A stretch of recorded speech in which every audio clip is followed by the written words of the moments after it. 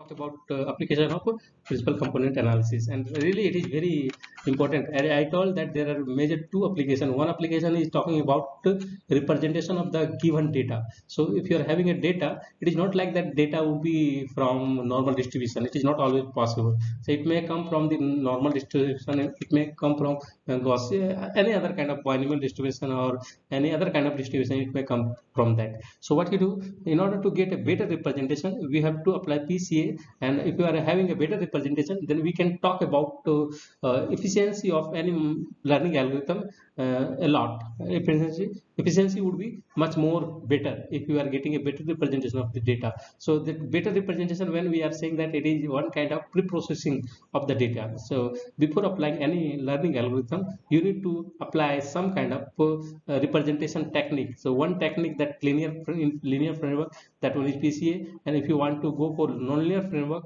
then that one is autoencoder so autoencoder is nothing that it is uh, what two set of neural network. Uh, one encoder uh, that one is also neural network that encode any given input into latent space. Uh, there in PCA in latent space what we are calling it eigenspace uh, that uh, with respect to principal component. And from the latent space we get back our uh, representation of better representation of the data that we are calling it. We are reconstructing the input again reconstruction. So in that process we observe some kind of uh, reconstruction error some kind of information will lose. So we try to minimize that reconstruction error in order to get a better representation. So that would be objective first what we do it here. So coming to outline of today's presentation. First i would like to talk about uh, that uh, recap of derivation yesterday what we derived in last class. And afterward i will talk about application in detail. What are the application that uh, two application one representation another uh, another one dimension reduction. So in latent space we will see that uh, uh, actually not all principal component are effective in sense that uh, those principal component we are which are having very less eigenvalue very small eigenvalue then uh, we will define those efficiency how we can how we comparison we will define how we can say that uh, which are significant uh, principal component uh, which are insignificant uh, principal component. And we can truncate those insignificant principal component. So if you are truncating insignificant uh, principal component in that process what is happening that the, the dimension of uh, latent space it get reduced. So that's why we are saying that there is a density reduction in, that process. So it is very much essential to find what are the significant uh, principal component and what are the insignificant. So and also you have to measure in that process uh, how much uh, if you are just uh, uh, what uh, truncating those ins insignificant principal component then how much loss is happening what is the amount of information you are losing? So definitely amount of information you will lose 10 percent 5 percent something like that. Not much uh, percentage of amount you will lose from not not much percentage of uh, information you will lose from that actual information that the data is containing. It is not only few percentage you will lose in that process. That's why we are performing dimension reduction. That way that's way it is a more feasible kind of so coming to derivation, that recap of derivation, uh, I discussed that uh, PCA also can be derived, principal component also can be derived by considering autoencoder with linear activation function. So autoencoder, I told that it is just a uh, set of two neural networks. It is having two neural networks. One is with respect to encoder, another with respect to decoder. And there is a in between there is a latent space, so latent representation of the input. Okay, and so that also apart from that a linear activation function, there would be only single uh, layer, input layer and output layer. That criteria is coming there, there is a single layer uh, single layer. So one in uh, one single layer it would be for uh, uh, encoder that will take input and it will convert to latent space another single layer there there would be in the decoder output that that will take uh, uh, latent representation of the data as input and, and give output that reconstruct the data. So a linear uh, autoencoder it should learn to choose the subspace. Simply subspace that that one is under consideration happens to be eigenspace you can call it eigenspace of uh, covariance matrix covariance matrix of the data, data that uh, happens to minimize the square distance from the data to projected data. That uh, that re uh, simply we are trying to our reconstruction error it minimize the reconstruction, reconstruction error or equivalently we can say that it maximize the variance of the projected data uh, so geometry if you see like this way that uh, suppose you are taking a data point x then uh, what you do uh, and uh, from the data all the data point you come up with the mean vector. So this is the mean vector of the sample. It is actually mu is this sample mean vector. So from the sample mean vector we treat that as a reference point and with respect to that we try to project all the data in principal corresponding principal component or in, in direction and uh, uh, what is happening that so in that process uh, this vertical one uh, the distance between uh, red dot to uh, blue dot what we are calling it reconstruction error. And projection this is the projection. The the component between green dot to red dot that we are calling it uh, projection. Projection or simply projection how we denote it? That means we projected x in the direction of mu and in the in the direction in this direction. So we are getting uh, x tilde. X tilde is so it may have some direction call it v. So x tilde is what? It is simply uh, v transpose x. And what is uh, reconstruction error? It is uh, x minus x tilde that means x minus v transpose x. So that that one is the reconstruction error. And i had already discussed that uh, the variance uh, of this uh, what this is simply a square distance.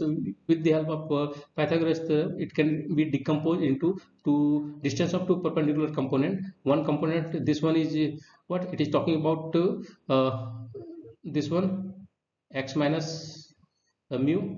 It is talking about x minus mu. Or simply I can denote it here.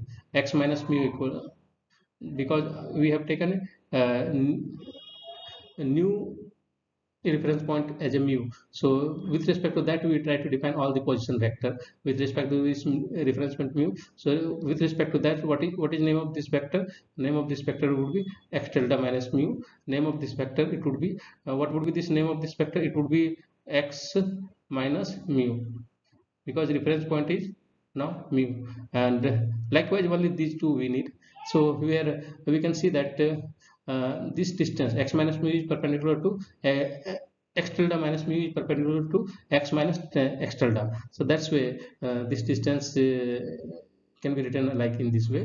And if you try to run it for all the sample then you are getting in that process you are getting sample variance so this this is sample variance so we can see that uh, we have deviated all the data uh, from mean and we are taking a square. It is a square of norm that simply you know that uh, what is meaning of a square of norm?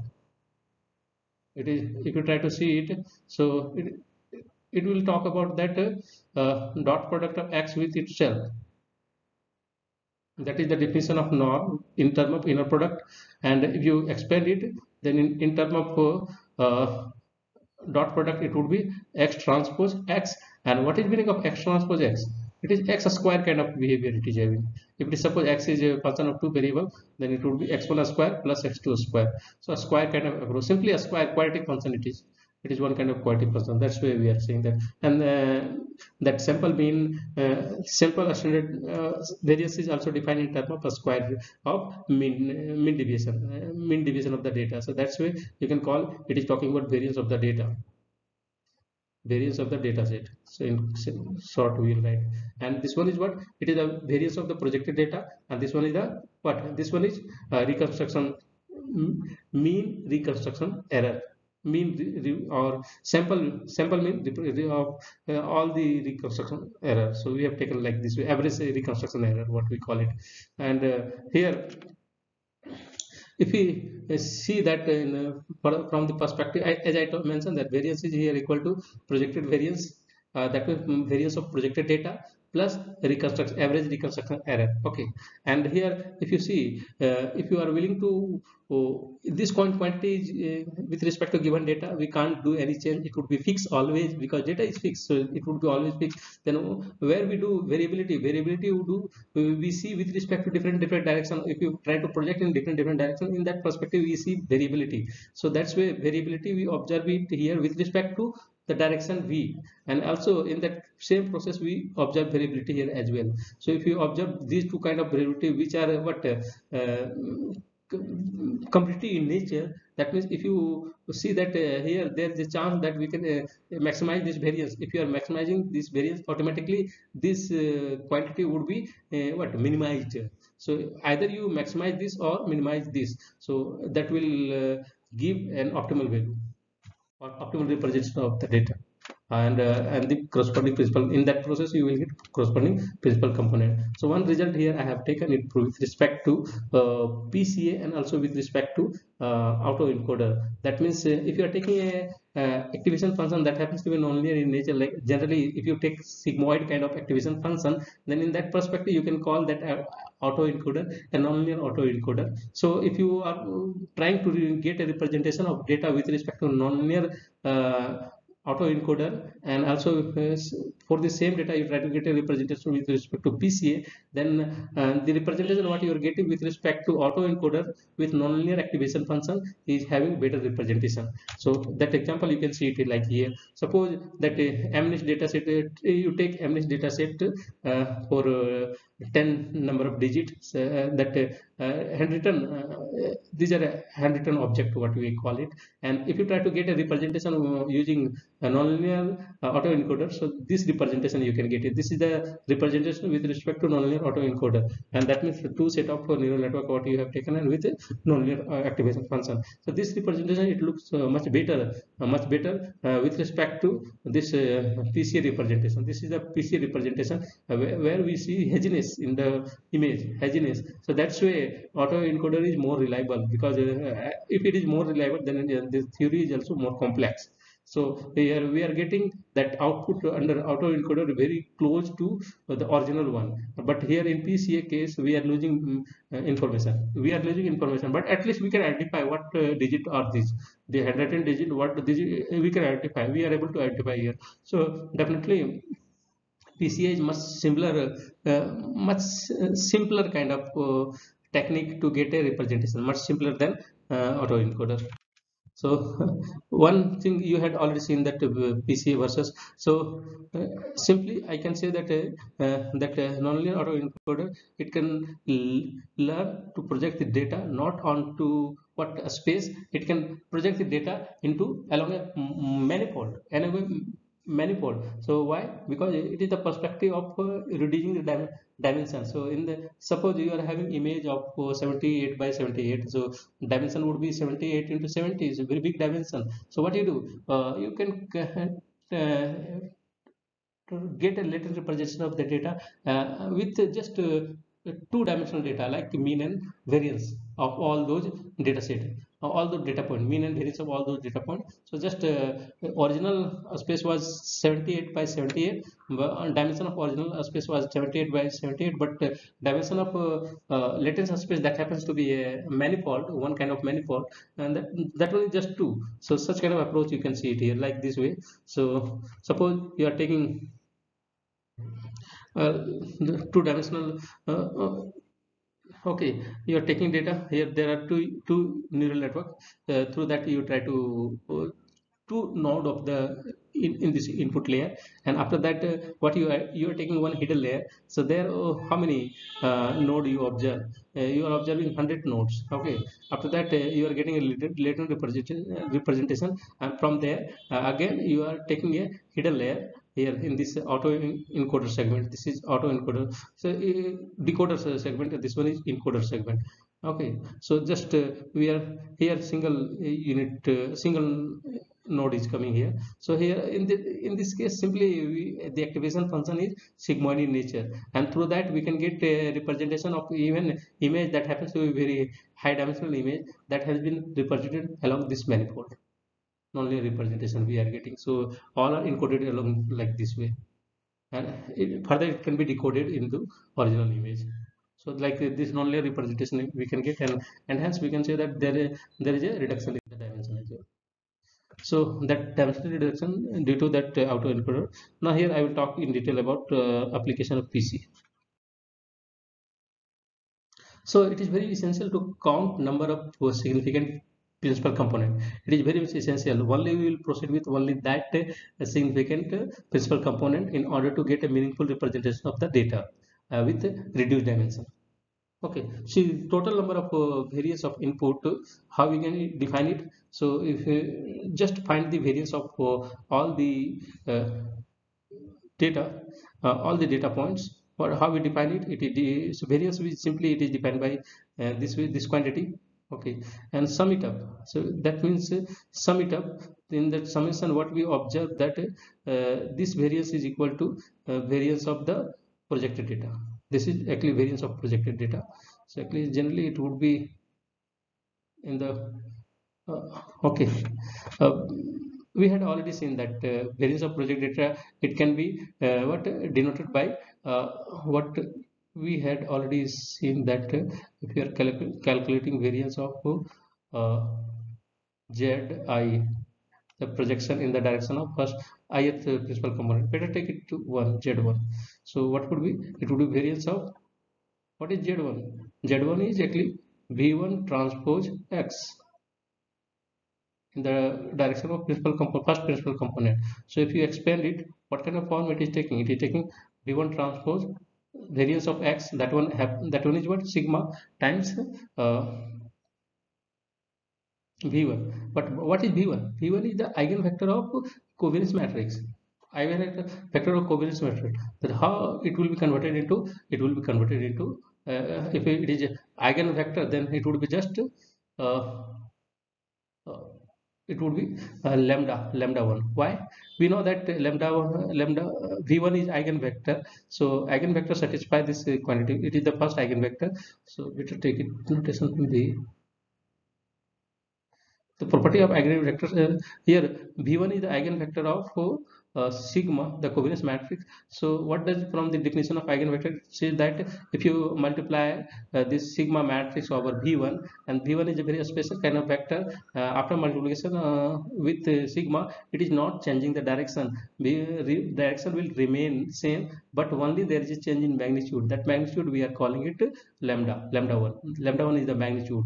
And, and hence uh, in more linear algebraic term we are calling it eigenvalue eigenvalue of this matrix with respect to this eigenvector v1 okay. So that's why we substitute back it here. So if you substitute back it here what what thing you will observe that uh, here this term will convert it into uh, v lambda is a scalar number. It will just come out. Generally we just we will have a dot product of v1 with v. V1 with v1 dot product of v1 with itself. But what we know in the process of computing that uh, v1 we had taken condition that uh, norm of v1 is equal to 1 that means v1 is a unit vector. So what what does it talk about? It is talking about a square of norm of v1 so that's why it would be equal to 1 and hence simply just it is a multiplication of uh, this variance of z1 it is multiplication of uh, lambda 1 with 1 that means you are getting? 1 so variance of z1 is 1 likewise if you sum all the variance of all components then you will get uh, summation of all the what we call it sum of all the eigenvalue. And what does it uh, define? It defines trace.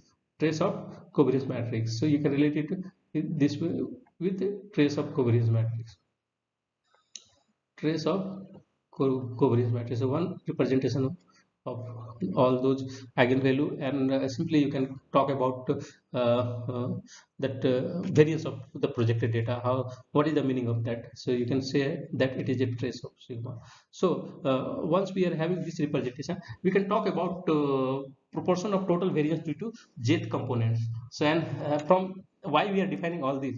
We are defining from the concept that whether uh, jth component is significant or not. So that uh, from that perspective that's why we are defining it here. So what would be uh, jth um, proportion of jth component? It would be lambda j divided by summation of all the uh, eigen value summation of all the eigen value what does it talk about? It will talk about total variance it will it will talk about total variance along the all those projected data total variance we are taking. So that's why uh, this number you can say that it is efficient uh, one kind of efficient uh, uh, eigenvalue also you can say that efficient eigenvalue or efficient variance better you can call it efficient variance in order to define efficient or in order to define a uh, significant eigen uh, principal component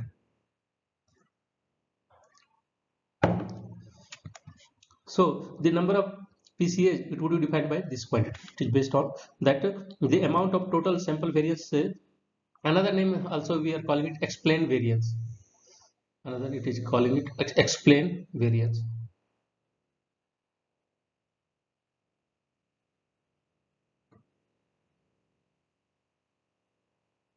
Okay, it is a very significant quantity. You need to decide which are the important principal component. So the amount of total variance explained the variance of sample PC and the subject matter interpretation. So whichever the principal component having sufficient very good explained variance that we will proceed with that and those we are those which are having uh, explained variance very less very less very very less around 0.00 something and point something like that 10 percent 5% 2% something like that then with respect to that uh, we will truncate those we will truncate that uh, in order to get reduced dimension. So here uh, as the number of PC uh, what kind of principal component we will take it? So it will be based on the scatter plot uh,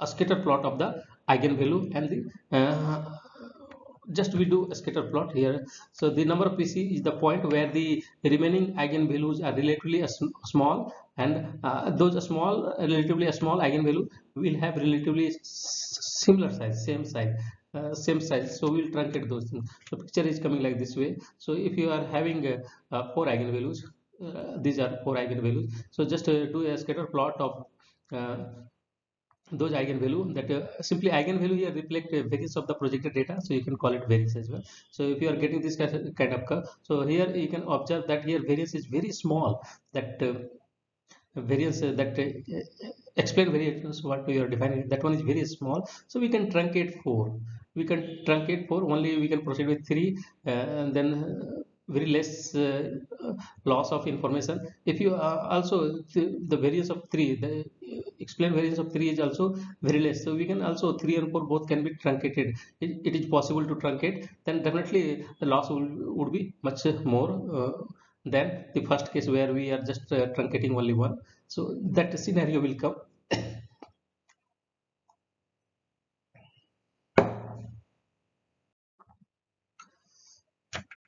Here further it is coming like this way the application are coming like this way. Pca is very useful uh, in uh, exploratory data analysis. Why? Because it provides a simpler and more uh, sparse a sparse or parsimonious description of covariance also it is providing particular structure. Uh, also it can reduce the dimension. Also it is giving a better visualization of high dimensional data. Because in high dimensional data uh, sparsity automatically uh, would be there. Most of information would be along the few uh, special kind of few uh, only few what we call it uh, principal component. One most of the information will be contained by only few principal component. Uh, rest of principal component will have very less what we call it explained variance that we had already defined.